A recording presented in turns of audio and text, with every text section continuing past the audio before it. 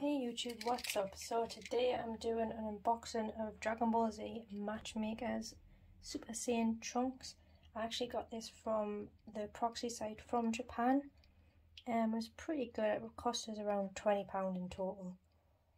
Um, so if you do like this uh, video, smash the like button and subscribe for more videos.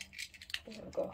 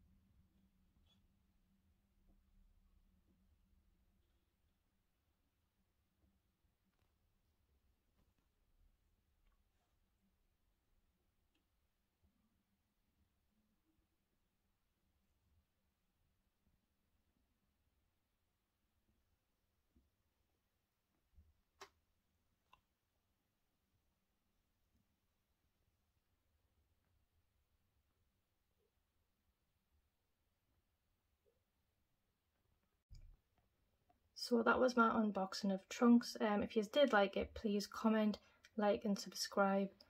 Um, and thanks for watching.